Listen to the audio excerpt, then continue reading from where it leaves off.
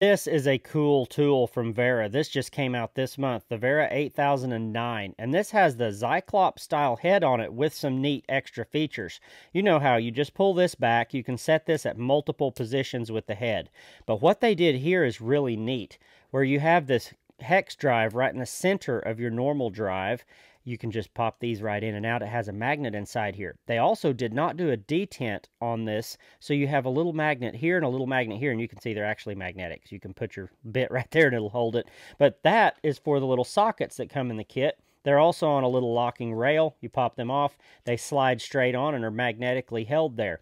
This also has a double stack of bits back here. They're on the wobble connection, and you can see what all sizes you have here. Just a fantastic range, and nice to be able to have 12 of those.